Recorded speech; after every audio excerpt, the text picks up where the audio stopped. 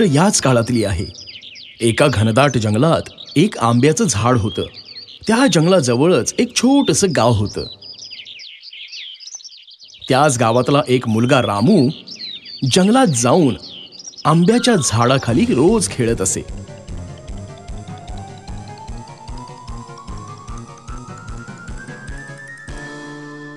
तो आंब्याच्या झाडावर चढून आंबे तोडून खायचा आणि मग त्या झाडाखाली आरामात झोपून एक डुलकी घ्यायचा. रामूला आंब्याच्या झाडासोबत खेळताना आनंद व्हायचा. तर त्या झाडाला सुद्धा आनंद वाटायचा. असे अनेक दिवस निघून गेले आणि आता रामू मोठा झाला होता. मग आता रामू आंब्याच्या झाडासोबत खेळत नसे. एका दिवसाची गोष्ट आहे रामू चालत चालत त्या झाडाजवळ गेला. तो बिचारा खूप दुखी होता. चल रामू बेटा माझ्यासोबत खेळ ना. झाडाने रामूला सांगितलं. मी आता लहान नाही राहिलो तुझ्यासोबत खेळायला. आता मी झाडांसोबत नाही खेळत. रामूने उत्तर दिलं. मला आता खेळणी हवी आहेत पण खेळणी सुद्धा खरेदी करायला पैसे लागतात.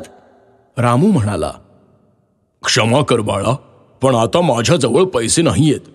परंतु तू माझे आंबे तोडून बाजारामध्ये विकून चांगले पैसे कमावू शकतोस. रामू हे ऐकून खुश झाला. रामूने झाडाचे आंबे तोडून ते जमा केले. आणि आनंदामध्ये तिथून निघून गेला. परंतु नंतर रामू बरेच दिवस आंब्याच्या झाडाकडे फिरकलाच नाही. बिचारा आंब्याचं झाड पुन्हा निराश झालं. खूप वर्षांनंतर रामू आता एक मोठा मनुष्य झाला होता. पुन्हा तो त्या आंब्याच्या झाडाजवळ आला.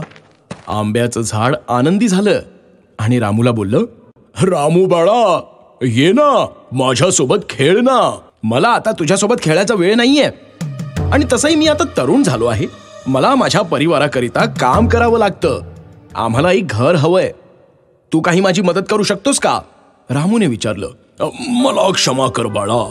परंतु माझ्याकडे तुला देण्यासाठी घर तर नाहीये. परंतु तू माझ्या फांद्या तोडून त्याचं घर बनवू शकतोस. हे ऐकून रामूने झाडाच्या सर्व फांद्या तोडून त्या जमा करून तिथून तो आनंदामध्ये निघून गेला. झाडाच्या फांद्या तोडल्यानंतरही झाड बिचारं आनंदी होतं. परंतु रामू पुन्हा त्या आंब्याच्या झाडाकडे फिरकलाच नाही आणि म्हणून आंब्याचं झाड निराश झालं. काही वर्षांनंतर उन्हाळ्याच्या दिवसामध्ये रामू पुन्हा त्या झाडाकडे परत आला. झाड खूप आनंदी झालं. ये रामू बाळा ये ना. माझ्यासोबत खेळ. नाही. आता मी म्हातारा झालो आहे. आता मला जीवन आरामात जगण्यासाठी नौकायन करायचंय.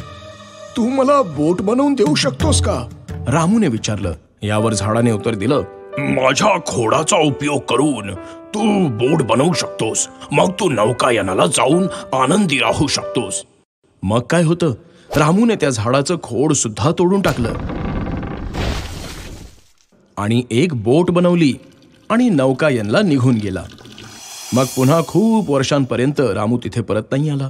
अशी बरीच वर्ष निघून गेली. शेवटी एक दिवस रामू तिथे परत आला. रामूला बघून झाड म्हणाल मला क्षमा कर बाळा. तुला देण्यासाठी आता माझ्याजवळ काहीच उरलेलं नाही. आंबे तर केव्हा संपले. रामू म्हणाला काही हरकत नाही. आता तर माझे दातही नाही राहिले. तुझे आंबे खाण्यासाठी. झाड म्हणाल तुला खेळण्यासाठी आता फांद्या सुद्धा राहिल्या नाहीत. पण मी सुद्धा आता खूप म्हातारा झालोय.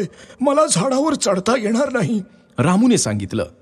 झाड यावर म्हणाल माझ्याजवळ खरंच तुला देण्यासाठी काहीच उरलं नाहीये बाळा. फक्त ह्या वाढलेल्या मुळ्या आहेत माझ्याकडे. आणि आंब्याचं झाड रडू लागलं. आता मला कशाचीही गरज नाहीये. मी खूप थकलोय. मला फक्त आराम हवा आहे. रामू म्हणाला. झाड म्हणाल मग ठीक आहे बाळा. माझी ही मुळं आराम करण्यासाठी सर्वात चांगली जागा आहे. ये बाळा माझ्या जवळ ये आणि आराम कर. रामू खाली बसला. झाड आनंदी झालं आणि रडू लागलं. मित्रांनो ही गोष्ट ऐकून आपलं हृदय भरून येईल की कशा प्रकारे एक झाड आपल्याला आयुष्यभर साथ देत राहतं. आणि माणूस त्याची कदरच करत नाही. झाड आपल्याला सावली आणि फळं देतं. जाळण्यासाठी लाकडं सुद्धा देतं. पण आपण मनुष्य? त्यांना आपल्या फायद्यासाठी निर्दयीपणे तोडून टाकतो. आणि पुन्हा काही देत सुद्धा नाही. मित्रांनो तुम्हाला विनंती आहे की जर आपण झाड लावू शकत नसाल तर किमान त्यांना तोडू तरी नका. धन्यवाद.